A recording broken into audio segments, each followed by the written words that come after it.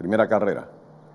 Y dieron la salida y se fueron a la lucha. La nieta de Chepa arranca en el último lugar. Al centro del grupo sale a buscar la delantera. Eduardito M está al frente en los primeros 175 metros con ventaja de cuerpo y medio. Tentador más cerca esta tarde que en la anterior. Está ocupando el segundo lugar. En el tercero en cuerpo Harlan Sprite. Al pescuezo en el cuarto a la parte de afuera el Gran Mickey. Última a más de 10 cuerpos está la nieta de Chepa. Primer parcial en 25-02 para Eduardito M que domina por un cuerpo. Afuera Harlan Sprite. Lucha el segundo ahora con Tentador junto a la baranda. En el cuarto a dos corre el Gran Mickey a centro de pista. Están entrando en los 750 metros y Eduardito M mantiene la delantera. Despega casi dos cuerpos. Harlan Sprite vuelve a adelantar ahora. Corta la ventaja. Cuando se acercan a los 600, Eduardito M cuerpo y medio. Harlan Sprite al segundo en cuerpo. El Gran Mickey en el tercero a tres y medio. En el cuarto se aleja Tentador.